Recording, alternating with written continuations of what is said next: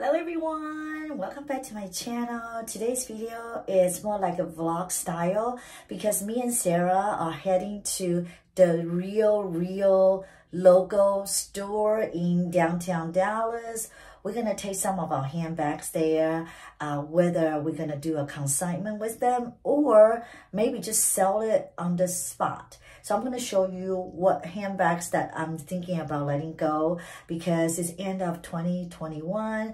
I just need to make some space uh, for 2022 and uh, kind of just, you know, just run a, a quick look just to see, you know, some of the handbags that I don't even use it enough for me to justify.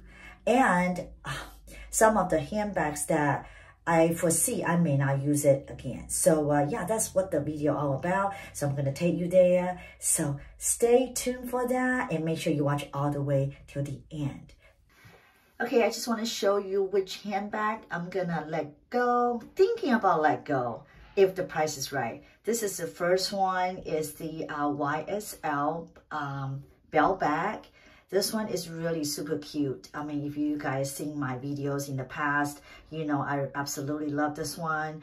But, uh, you know, uh, ever since the pandemic, I just didn't really go out much. And, you know, um, I just, you know, think that this bag, I use it enough. Maybe I can move on from it. So this is the first one I'm thinking about letting go. And this is the second one I want to let go is this Louis Vuitton um, shoulder bag. I don't even know the name of it. So uh, I just want to show you guys this uh, large uh, Chanel Gabrielle. I also thinking about letting go. So yeah, so I'm gonna just take it to the Real Real to see what they say. Uh, I could easily sell it back to uh, the Fashionphile. However, the quote they gave me is not um, it's not generous enough for me to uh, to uh, trade it in. So yeah, so let's go to Real Real and see what they say.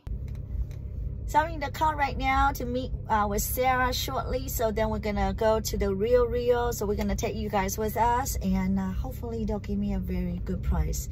So I can uh, just kind of, you know, clean up my closet, get rid of those items and uh, uh, put towards to the new bag. We are here and Sarah, what's your bag of the day? Oh wow. Speedy 20. Yes, and my bag of the day is my Alma, BB. And now we are going to the Real Real. Okay.